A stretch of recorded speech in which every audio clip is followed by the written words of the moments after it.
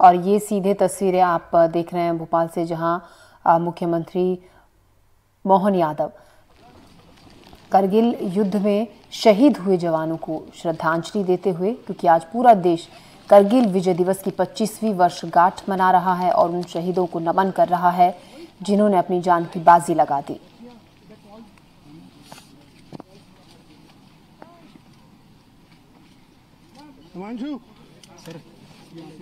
लगाना यार, दोनों हाथ बिज़ी हैं।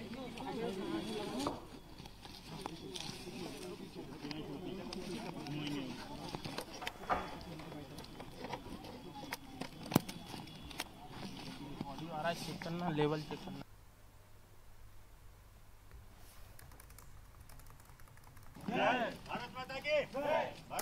मुख्यमंत्री मोहन यादव की तस्वीरें आप देख रहे हैं।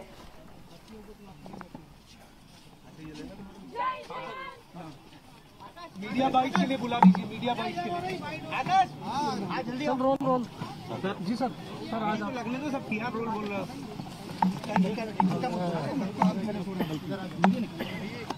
सर आज पच्चीस साल पहले का आज का वो दिन कारगिल दिवस जब हमारी देश की सीमाओं के अंदर बगल का देश पाकिस्तान अपने सैनिकों को घुसाता है और पूरा देश एक तरह से आश्चर्य में जाता है। तत्कालीन प्रधानमंत्री श्रीमान भारत रत्न अटल बिहारी वाजपेयी जी ने सेना को निर्देश दिया और हमारी सेना पे हमको गर्व है, जिनने इतने दुर्गम चढ़ाई के बीच भी अपनी जीवटता के साथ न केवल देश की सीमा की रक्षा की, बल्कि ये युद्ध का सबसे बड़ा इतिहास बना है।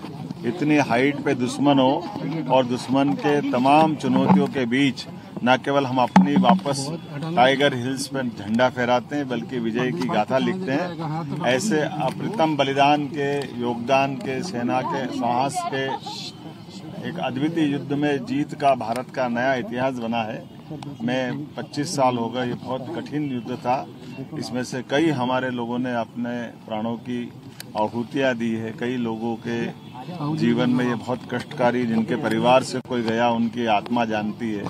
लेकिन भारत के इतिहास के लिए बहुत गौरवान्वित करने वाला भारतीय सेना के साथ हम सब के लिए गर्व का क्षण है जब हम न केवल भारत दुनिया के सामने अपनी सीमाओं को पुनर्स्थापित करने के लिए जीत का डंका बजाने के लिए और एक गौरवशाली इतिहास लिखने के लिए आगे बढ़ा था। मैं ऐसे सभी अमर शहीदों को विनम्र श्रद्धांजलि भी अर्पित करता हूँ और सेना को बधाई देता हूँ। देश उनके साथ खड़ा है। जब भी चुनौती आएगी, सेना हमारी सबसे समर्थशाली है। वो हर कठिन परिस्थिति में विजय का डंका बजाती है। बहुत बहुत बधाई। तो हमारी सेना हर जगह विजय का डंका बजाती है। सेना को सराहा मुख्यमंत्री मोहन यादव ने तस्वीरें आप देख रहे हैं। आपसे कुछ ही देर पहले की जब करगिल दिवस के 25 साल पूरे होने के मौके पर वीर शहीदों को श्रद्धांजलि देने के लिए पहुँचे मुख्यमंत्री मोहन यादव।